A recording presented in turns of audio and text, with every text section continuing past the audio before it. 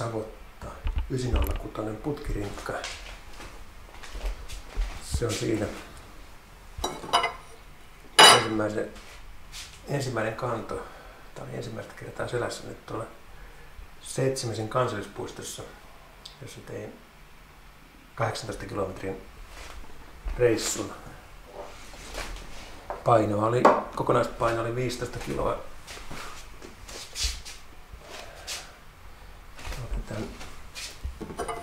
Yläkaaren siitä pois, kun mä en tarvinnut. Ei mitään tarvetta ollut tälle. Tää painaa tää yläkaari joku vajaa 200 grammaa. Ja sen saa helposti tuolta ruuhimessillä tuosta vähän au, au, autosta ja se kun nostaa pois. Se oli todella hyvä, hyvä selkään ja hyvä kantaa, ei se paina sinä tuntunut.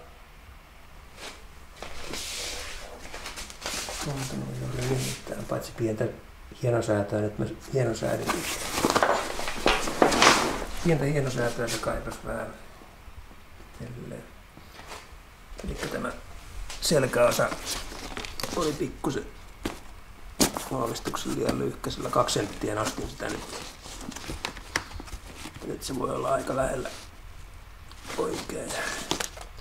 Sitten tätä rintaremmiä laskin tuonne alaspäin. Se oli liian korkealla. Huomasin tuossa aikaisemminkin hoksen kyllä. Että, mutta nyt se on nyt se on tuolla alempana, niin se on vähän parempi. Tosiaan se oli pikkusen, pikkusen selkäosa liian lyhkäinen. Se paino tonne pikkusen paino hartioihin. Nyt sitten seuraava, seuraavalle reissulle vaan testaamaan kolmen kuormalla. Löydetään se lopullinen säätö sitten. Se ei ole kyllä kaukana se. Se voi olla nyt aika hyvä. Sitten on kyllä helppo säätää tuota selänpituutta. Se ei kauan.